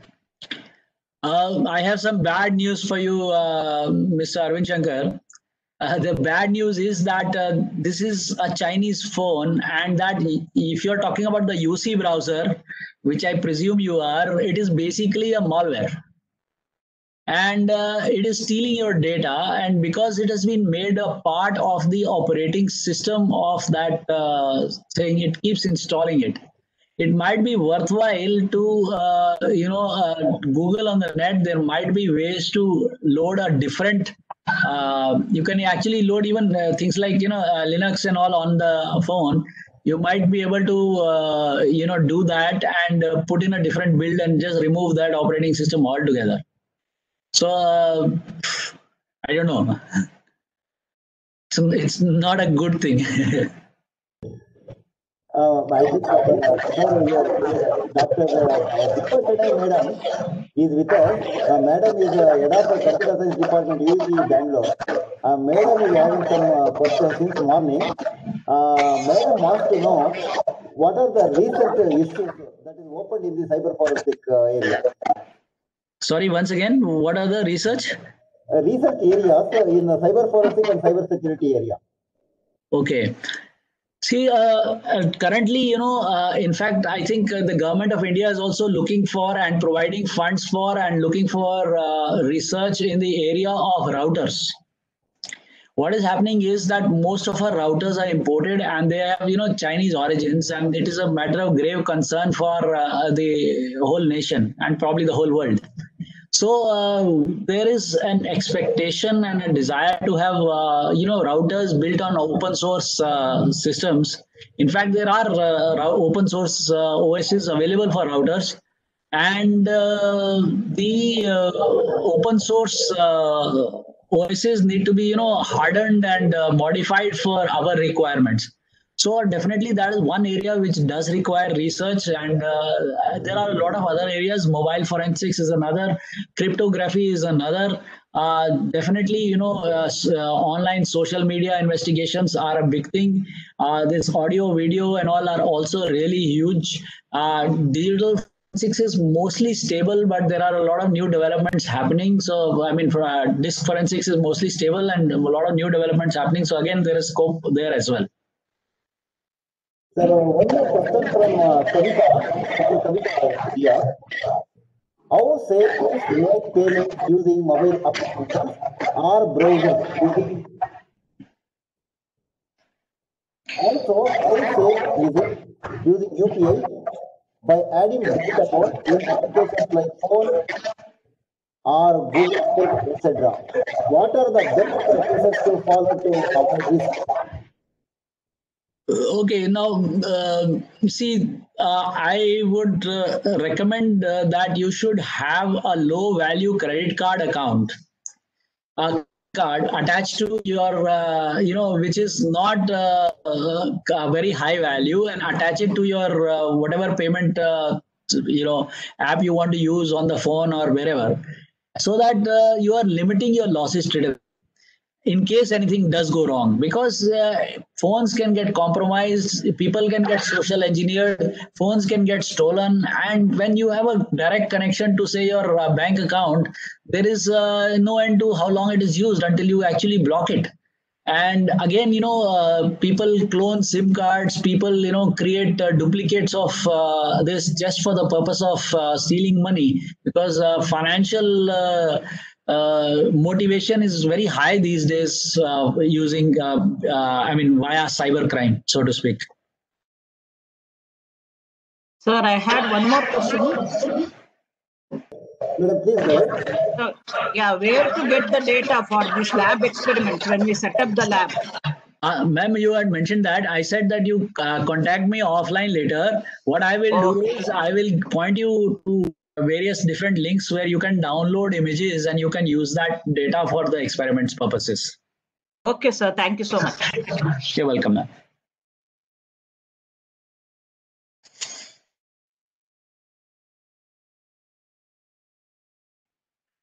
Good. Is there anything else?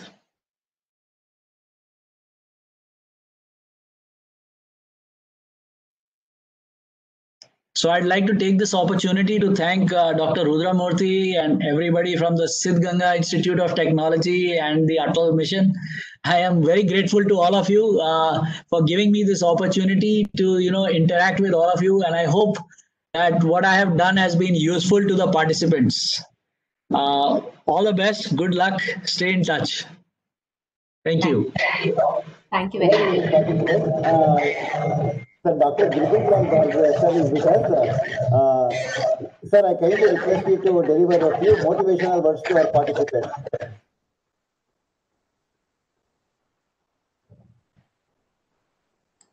Hello? Sir, Am I audible? Yeah, are you, are you uh, talking to Dr. Girdhar? Yes, sir. Yes, sir. Yeah. Yes, sir.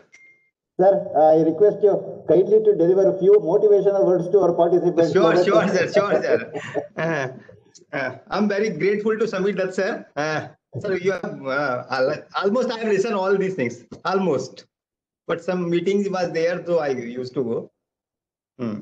Uh, Sameer Dutt sir एक अभी जो cyber security is मतलब it's a burning issue हाँ जी आज आजकल तो है हाँ, आजकल तो अभी अभी रिसेंटली हमारे यहाँ किसी अ, अब है डायरेक्टर हैं उनका एटीएम से कार्ड गायब हुआ फिर उससे पैसा विड्रॉ हो गया। Lot of things are going on काफ़ी नुकसान हो जाता है इससे। जी जी जी जी जी। तो स, अ, सबसे पहले तो हम thanks to institute you call me M R S sir uh, you are the luckiest person because after 5000 programs you got it now.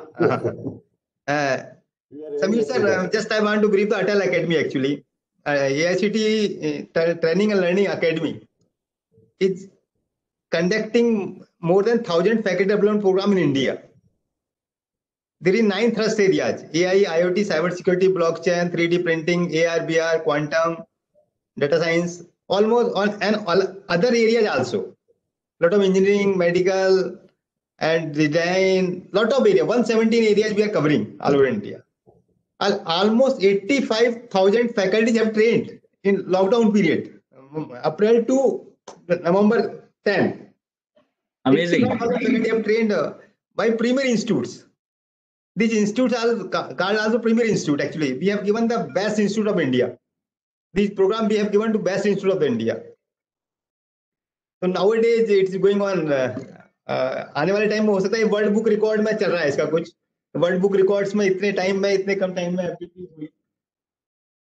एक सेकंड सर मैं एक फ़ोन ले लेता हूँ सर कोई यस के यस के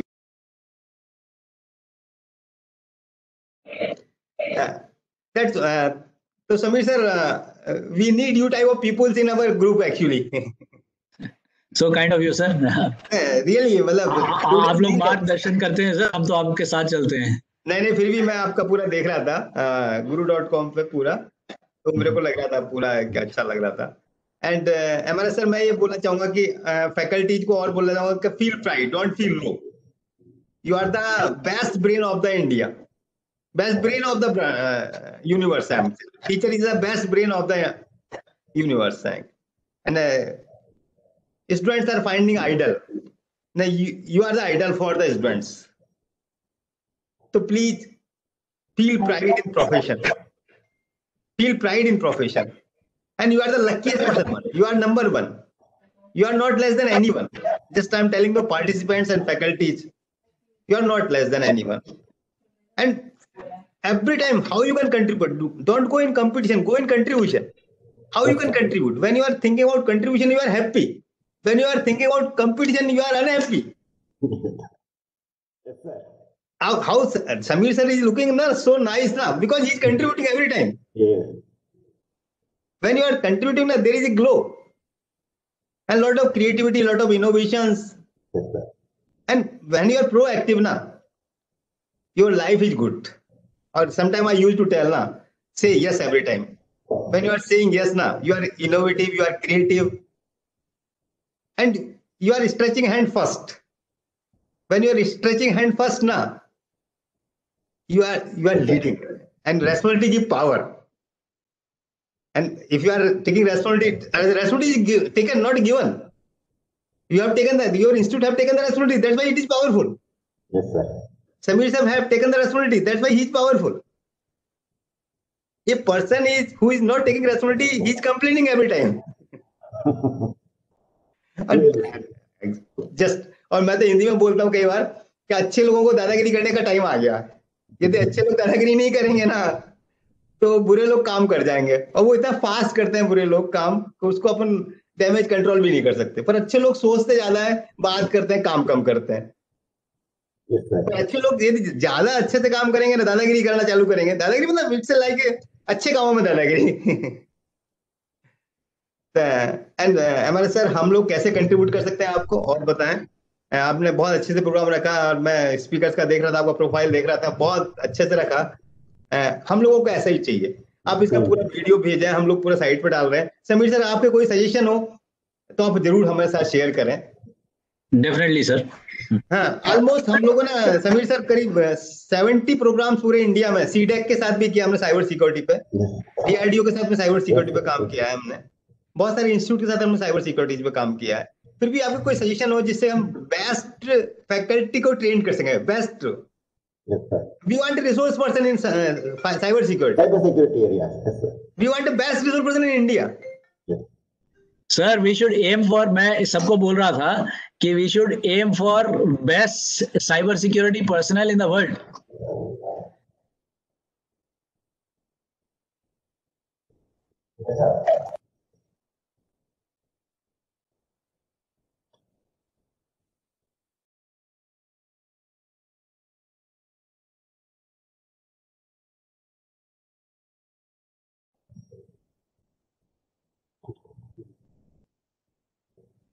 sir मैं ये बोल रहा था कि हाँ, best in the world should aim for because अगला वेव जो है वो हमारे भारत से आने वाला है what is happening is that the world was outsourcing First, data entry people work to India. Then they began to outsource uh, programming work to India, and then programmers from India began to go to foreign countries. अब ये wave जो है ये हमारे cyber security और cyber forensics में आने वाला है this is the future. I was telling everybody that this is where that skill set that exists is here in india and we should develop it more so that we now have this big wave coming from india because we have the manpower. Demographic bhi hamare bache younger hai hamari youth is more than our older people. So it is a great opportunity for india which we should utilize. And how we can uh, go uh, go. I, how how we can go ahead? आप तो ये बताएँ हम लोग कैसे क्या कर सकते हैं? Because we have more than almost 10 lakh faculties in India जी। है। और almost one crore students are teaching almost 20 lakh रुपए 20 लाख इंजीनियरिंग स्टूडेंट्स हर साल निकल रहे हैं हर साल निकल रहे हैं। हम्म, तो क्योंकि ज़रूरत है जब तक यदि इंडस्ट्री बेस्ड या सोसाइटी बेस्ड प्रोग्राम नहीं रखेंगे एम्प्लॉयमेंट जनरेशन पर काम नहीं करेंगे ना तब तक दिक्कत हो जाएगा।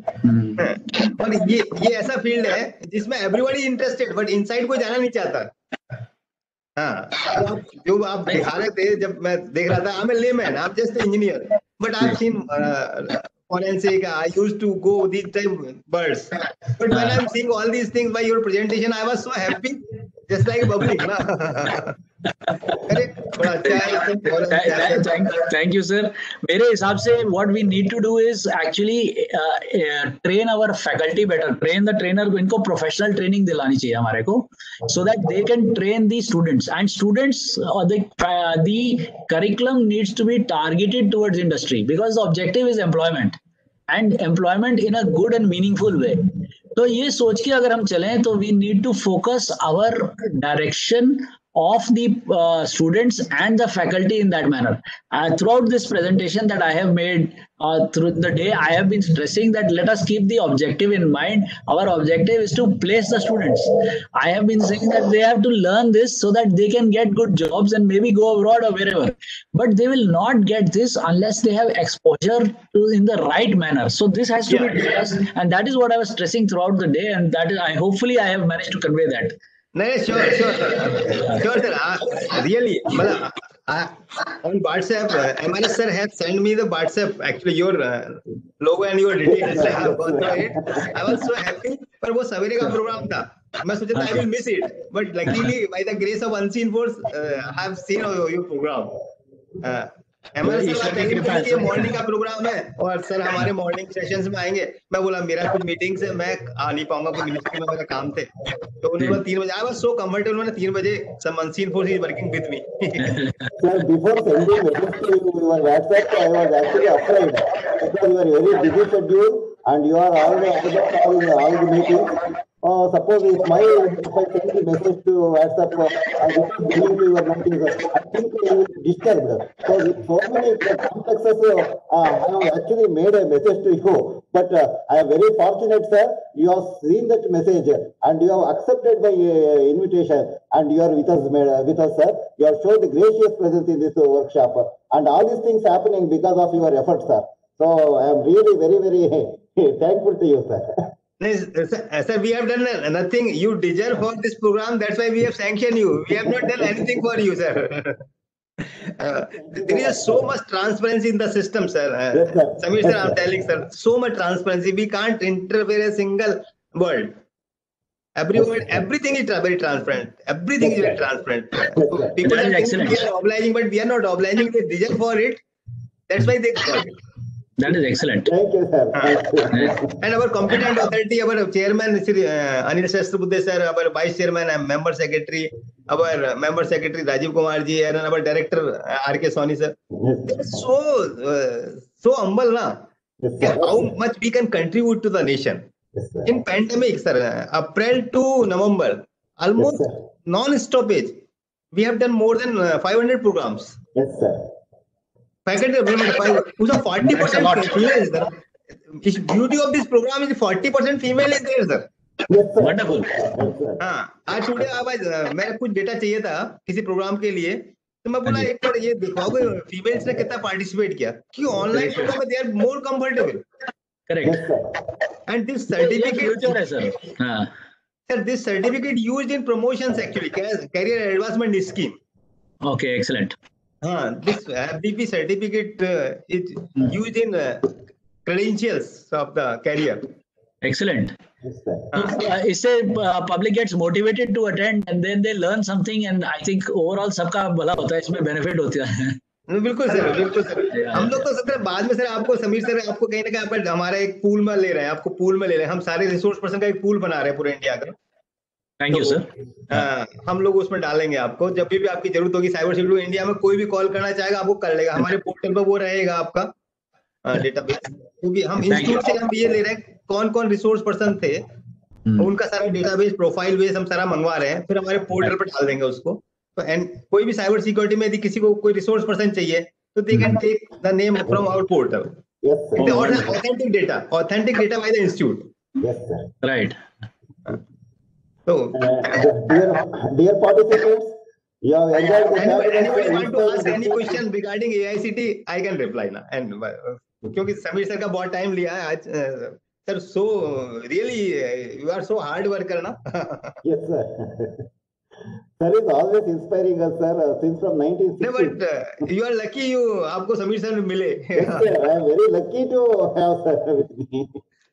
Uh, dear participants, uh, uh, the time to end the session.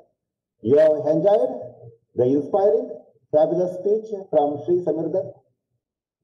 And also, we have seen the gracious presence of our uh, Assistant Director, Atal Academy, Dr. Girdhar Lal Garg. And we have enjoyed. Yesterday also you have enjoyed. And tomorrow also you will enjoy. I will assure you. And you are very patiently you have participated in this workshop since morning. And also, Sanjay sir, you are very patiently, you are delivered the continuously the knowledge to our participants. Yes.